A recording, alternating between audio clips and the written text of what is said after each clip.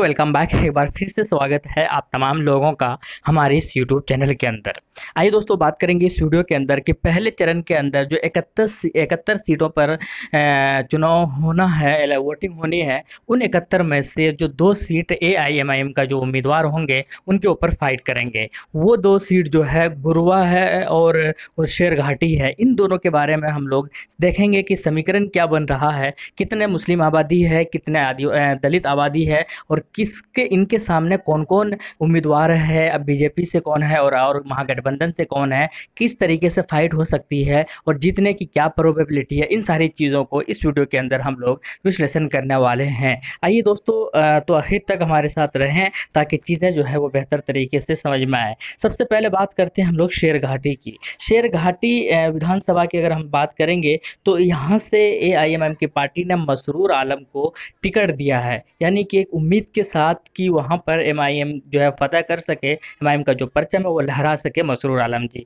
लेकिन पिछली बार जो है, जीत जो है, वो जदयू की हुई थी। लेकिन यहाँ पर भी इसलिए जदयू अच्छा टक्कर देगा एमआईएम को, इसलिए भी लेकर चल रहे हैं बहुत सारे लोग। कुल मिलाकर ये मसरूर आलम के सामने जदयू के तरफ़ से जो उम्मीदवार है, वो विनोद यादव जी हैं, उनके सामने फाइट होंगे। दूसरा आरजेडी यानी महागठबंधन जो है, आरजेडी ने अपना कैंडिडेट उतारा है, मंजू अग्रवाल। यानी कि बेसिकली मसरूर आलम, विनोद यादव और मंजू अग्रवाल, इन तीनों के बीच में एक बड़ी लड़ाई, एक बड़ी फाइट जो है, एक बड़ा कंटेस्टेंट जो है आप देखने को मिल सकते हैं यहाँ पर इस विधानसभा के बारे में। लेकिन बात करते हैं कि यहाँ पर आबादी कितनी है। मुसलमानों की आबादी अगर बात की जाए, मुस्लिम पॉपुलेशन की बात की जाए तो थर्टी सेवन परसेंट से भी ज़्यादा है यहाँ पर मुसलमानों की आबादी 2011 के सेंसस के अकॉर्डिंग लेकिन बात करते हैं हम लोग आदि दलितों की एससी की तो यहाँ पर 15.2 परसेंट पंद्रह पॉइंट टू परसेंट जो है यहाँ पर जो आबादी है, वो है आदि वो जो है, वो एस कैटेगरी के है।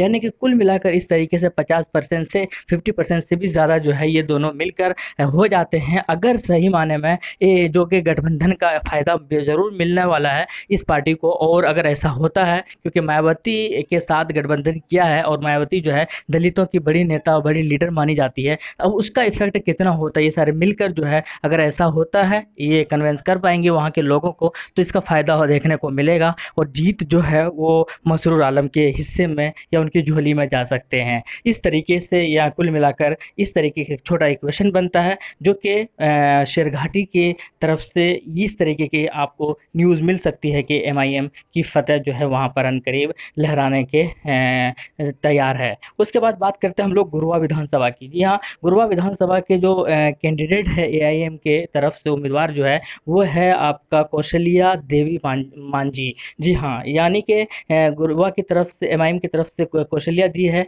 जबकि बीजेपी की तरफ़ से राजीव नंदन है, जबकि और महागठबंधन की तरफ़ से विनय यादव है। यहाँ पर भी जो है, वो एक ट्राई जो है, वो तीन त्रिकोणीय जो है, वो फाइट होना है। और यहाँ पर आबादी की अगर बात की जाए तो मुसलमानों की आबादी मात्र थर्टीन परसेंट है, तेरह परसेंट है, जबकि आदि जो दलितों की आबादी है, वो चौंतीस परसेंट से भी ज़्यादा है। यानी कि कुल मिलाकर दलितों के अच्छा खासा यहाँ पर वोट, वोटर्स है, और इसीलिए यहाँ पर शायद एक मांझी को टिकट दिया है एम की तरफ़ से। इसलिए क्योंकि ये इनके जो वोटर्स है, इनको मुखातिब कर सके और इनको अपने पाले में जो है वोट गिरवा सके। अब ये देखना होगा कि एम की ये जो उम्मीदवार है, जो कि इकहत्तर में से, यानी कि सेवेंटी में से इन दोनों को जो टिकट मिला है, ये कितने अच्छा परफॉर्मेंस देते हैं, कितना इन्होंने काम किया है, क्या रिज़ल्ट आएगा, ये बात की बात है। लेकिन कुल मिलाकर यही है, बाकी जो उनहत्तर, यानी कि सिक्सटी नाइन सीट बची हैं, वो एमआईएम के साथ जो गठबंधन है, वो लोग मिलकर फाइट करेंगे। तो आप क्या कहते हैं? कॉमेंट सेक्शन में ज़रूर बताइएगा।